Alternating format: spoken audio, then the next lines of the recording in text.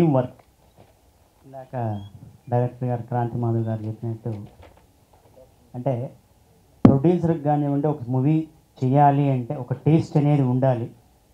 ఆ టేస్ట్ అనేది ఇందాక మీరు అందరు చూసిన ట్రైలర్స్ నుండి తెలిసిపోతుంది క్వాలిటీ అని చెప్పేసి. అంటే ఆర్ఆర్ కానివ్వండి లేకపోతే స్టోరీ ఎన్నుకోవడం కానివ్వండి ప్రతి ఒక్కటి చాలా చక్కగా ఉంది. మొదటగా మా ప్రొడ్యూసర్ రాజు గారి ఫస్ట్ నాకు చెప్పారు ఆయన ఆస్ట్రేలియాలో ఉన్నారు ఆస్ట్రేలియా ఉండి కూడా అన్న నేను ఈ మూవీ ఏదైతే ఇన్వెస్ట్ చేస్తున్నానో ఆ వచ్చిన అమౌంట్ నాకు ఏదైతే రిటర్న్ వచ్చిన అమౌంట్ నేను ఒక సేవా కార్యక్రమాలు చేయాలని చెప్పేసి నేను ఒక మూవీ తీయడం ఈ మూవీ తీయడం జరిగిందని చెప్పి చెప్పారు. ముఖ్యంగా దిలీప్ గురించి మాట్లాడాలి. ఈ సినిమా కంటే ముందు నేను దిలీప్ కలిసి సినిమాలో చేయడం జరిగింది కాంబినేషన్లో. సో నాకు దిలీప్ అలా పరిచయం. ఆ, సినిమాలో ఆ టైంలో నాకు వచ్చి ఒక క్యారెక్టర్ చెప్పాడు. ఇలా నేను ఒక సినిమా మూవీ డైరెక్ట్ చేయబోతున్నాను. అందులో మీకు ఒక క్యారెక్టర్ అనుకున్నాను. మీరు చేయాలి అన్నాడు. నేను సరే అన్నాను. అలాగే నాకు స్టోరీ చెప్పడం జరిగింది. ఆ, స్టోరీ అంటే నాకు తను చెప్పినప్పుడు చాలా భారీగా ఉంది కాంప్లికేటెడ్గా ఉంది. నువ్వు కొత్త కదబ్బా మరి ఫస్ట్ టైం డైరెక్షన్ చేస్తున్నావు మరి నువ్వు చేయగలవా నువ్వు కాన్ఫిడెంట్గా ఉన్నావా అన్నాడు. అంటే తను అన్నాడు నేను చాలా కాన్ఫిడెంట్గా ఉన్నానన్న ఈ స్క్రిప్ట్ మీద నేను చాలా కాలం నుంచి వర్క్ చేస్తున్నాను సో నేను కాన్ఫిడెంట్గా ఉన్నాను అన్నాడు. కానీ నాకు ఎక్కడో డౌట్ ఉండింది. అప్పుడు డౌట్ ఉండింది. అయితే సరే నాకు ఫస్ట్ డే నేను షూట్కి వెళ్ళిన రోజు నాకు ఆ డౌట్ క్లియర్ అయిపోయింది. సో తను ఎంతైతే కాన్ఫిడెంట్గా నాకు ఏ విషయం అయితే చెప్పాడో అంతే కాన్ఫిడెంట్గా అతను ఆ సెట్స్లో ఉండేవాడు. ఈ సినిమాలో కొత్త వాళ్ళు ఉన్నారు పాత వాళ్ళు ఉన్నారు ఆర్టిస్టులు సో అందరి చేత తనకి ఏదైతే కావాలనుకున్నాడో ఏ క్యారెక్టర్ని ఎలాగైతే డిజైన్ చేసుకున్నాడో ఎలా అయితే ఆ క్యారెక్టర్ పర్ఫామ్ చేయాలనుకున్నాడో అతను ఏదైతే అనుకున్నాడో అందరి దగ్గర ఒకటికి పదిసార్లు చెప్పి చాలా కష్టపడి వాళ్ళ దగ్గర పర్ఫార్మెన్స్ తీసుకోగలిగాడు. నేను చూశాను అది. బాగా మొండిగా చేసేవాడు. ఒక్క మాటలో చెప్పాలంటే మా అందరు బెండ్ తీశాడు. అంటే షూటింగ్లో అండ్ డబ్బింగ్లో కూడా వదిలే వదిలిపే వదిలేవాడు కాదు మమ్మల్ని. క్షమించేవాడు కాదు ఎవరిని. ఇక మొన్న అయితే మనం ఆడియో ప్రీ రిలీజ్కు మాట్లాడినాం. మళ్ళా కూడా శేఖర్ అన్న వంతుండే. అన్న కూడా కథం పట్టించేసిండు. ఏం చెప్పాలనుకున్నాడు అది చెప్పేసిండు.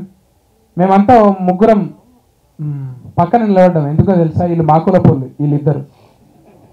కులం అంటే డబ్బింగ్ కులం మేము. రెండు వేల ఐదు నుంచి అన్నలతోని నేను బాబాయ్ మల్లాది భాస్కర్ గారు. నేను అన్న దిలీప్ని. దీనికి డబ్బింగ్ ఎవరు? ఫస్ట్ సినిమా స్టార్ట్ అయిపోయింది పోస్ట్ ప్రొడక్షన్ అనగానే డబ్బింగ్ ఎవరికి ఇచ్చినావు అన్న?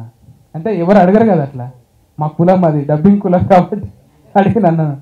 కానీ అన్న అన్న కూడా అది చూస్తే చాలా బాగా అనిపించింది. ఒక మంచి ఏమంటారు?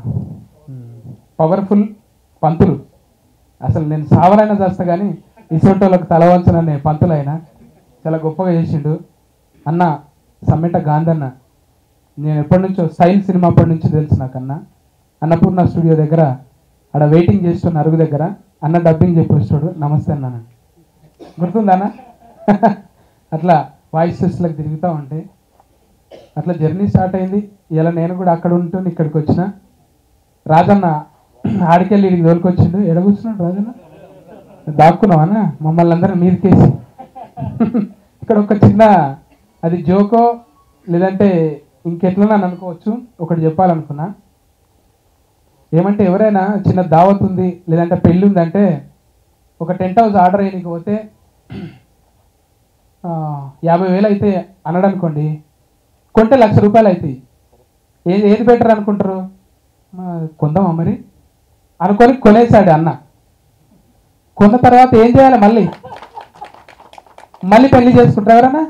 టెంట్లు ఉన్నాయని పెళ్ళి చేసుకోరు కదా. పెళ్ళిళ్ళకి టెంట్ హౌస్ పెట్టుకోవాలి.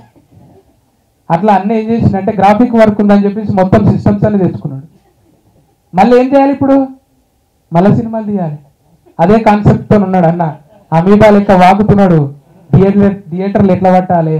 అసలు సినిమా డిస్ట్రిబ్యూషన్ ఏంది? బయ్యర్లు ఏంది? ఇవన్నీ మెల్లగా పాకుతా ఉన్నాడు అన్న. ఎప్పటికన్నా నువ్వు చేస్తావన్నావు అందుకే టచ్లో ఉండాలనే ఉంటున్నావు ముందుగా ఈ సినిమాలో ఒక రాజు పాత్ర నాది. నాకు ఈ పాత్ర ఇచ్చి నన్ను ఎంతగా ఆదరించి నాతో బాగా చేయించారు అనుకుంటున్నాను నేను చాలా బాగాను. అంతా దిలీప్ కష్టమే. నాకు తెలిసి దిలీప్కి ఇరవై నాలుగు క్రాఫ్ట్స్లో కూడా అతనికి అనుభవం ఉంది. గ్రాఫిక్స్ మామూలుగా మన వాళ్ళందరూ చాలా సినిమాలకి ఎక్కడో అమెరికా ఇంగ్లాండ్ పరిగెత్తుంటారండి. అలా కాకుండా నాకు తెలిసి ఫిలిం నగర్లో వీళ్ళ ఇంటి మీద పైన పెంట్ హౌస్లో చిన్న రూమ్లో మొత్తం సెటప్ చేసి ఇంత గొప్ప గ్రాఫిక్స్ కట్ చేసి ఎంత గొప్పగా కట్ చేశారంటే నిజంగా నాకు చాలా ఆశ్చర్యంగా ఉంది. Hello everybody a little English. Hello, everybody. Um, the uh, tell me trailer did you all like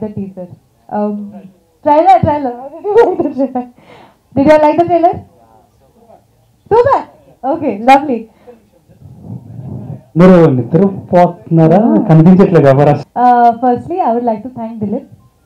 Thank you so much. I am very uh, happy and very blessed to be a part of Big Suchi because we started with a very small scale, but uh, first the songs, then the teaser, and now the trailer is so amazing, Dilip, that I don't know how the film is going to be. It is going to be so good and so crazy. it is it is a grand film. We started with a Chotu um, place like okay abhi abhi acche se karenge aise karenge वैसे करेंगे. And now when I see the result it is so good that I am very very blessed to be a part of Diksuchi thank you so much Dilip. thank you thank you Shami. Amazing direction and lovely co-actor. Thank you. And uh, and Raju Garu thank you so much for giving us the opportunity and believing in us. And uh, he's a very down to earth man, very sweet. Uh, we just, for the first time, we had a conversation, and uh, such a nice person. And he said that uh, he only wants to help people and only wants to see people grow and uh, encourage new talent. So thank you so much, sir. Thank you so much. I would like to thank uh, our DOP as well, Kanna Garu, who made me look so beautiful, such an experienced person. And uh, he always helped me and made me confident. So thank you so much, Kanna Garu. And Dilip, thank you so, so, so much. And uh, yeah. ఎన్నిసార్లు language చెప్పినా నీకు సరిపోదు. ఓ నన్ను నేను screen మీద చూసుకున్నప్పుడే అసలు నా నాకే గూజ్ బంప్స్ వచ్చాయి అండ్ యా uh, అందరికి నమస్కారం అండి. అండ్ uh, ముందుగా చెప్పాలి అంటే ఈ సినిమాకి దిలీప్ అండ్ రాజు గారు మా ప్రొడ్యూసర్ రాజు గారు పిల్లర్స్ అండి. అండ్ వీళ్ళని నడిపించింది ఆంటీ అండ్ అంకల్ దిలీప్ వాళ్ళ పేరెంట్స్. సో వాళ్ళకి thank you twenty twenty five days ఆర్ఎఫ్సీలో night shoot చేసాం నిద్ర వచ్చినా సరే ఏదైనా సరే ది దిలీప్ యాక్చువల్గా చాలా త్వరగా పడుకుంటాడు బట్ ఆ ట్వంటీ ట్వంటీ ఫైవ్ డేస్ ఎంత కష్టపడ్డాడో మేము అందరం కల్లారా చూసాం నాకు ఇక్కడ ఇలా మాట్లాడదాం ఫస్ట్ టైం. ఇలా మాట్లాడదాం చాలా ఫస్ట్ టైం అండి నేను. ఇక్కడ ఫస్ట్ నేను చెప్పుకోవాల్సింది బాగా థ్యాంక్స్ చెప్పుకోవాల్సింది ఎవరికంటే మా దేవుడు. సీరియస్లీ చెప్తున్నాను. మా దేవుడికి చెప్పుకోవాలి. బాబోయ్. సీరియస్లీ. అయ్యో నేను ఏదో చెప్తున్నాను అనుకోండి. నిజంగా నా మనస్ఫూర్తిగా చెప్తున్న విషయం అది. ఒక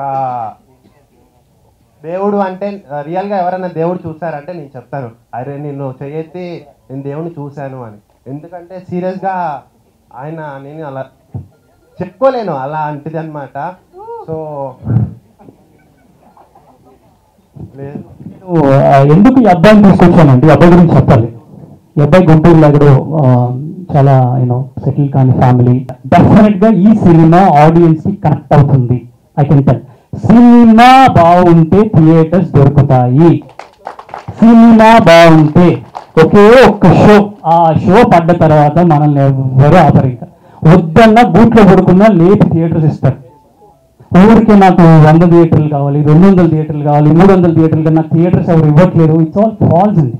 తప్పు ఇది ఏసీ ఖర్చులు కూడా అలా రాట్ల థియేటర్లో సినిమాలు వేస్తే ఎక్కడి నుంచి థియేటర్స్ ఇస్తారండి? కంటెంట్ బేస్ చేసుకుంటూనే థియేటర్స్ దొరుకుతాయి. అది పెద్ద స్టార్ సినిమా అయినా లేదా నాలాంటి ఒక చిన్న సినిమా అయినా సరే. సో అందరికీ కూడా నిజంగా థ్యాంక్స్ అండ్ uh, ఈ వీడియోపై మీ విలువైన కామెంట్స్ని మాతో షేర్ చేసుకోండి. అండ్ ఇంకో విషయం సబ్స్క్రైబ్ చేయడం మర్చిపోకండి.